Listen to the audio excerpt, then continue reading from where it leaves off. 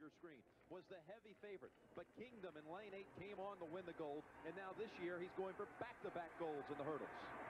I think right now, yes, it is a goal. I would like to be the second person ever in history to um, to win gold medals back-to-back. -back. And not only the second person in history, I'm already looking toward 92 Olympics, not only in the hurdles, but the decathlon. I'd like to pursue that goal as well. Four times ranked number one in the world, silver medalist 84, is in lane four. There's Roger Kingdom, gold medalist in 1984, back from a nagging hamstring injury from the last couple of years.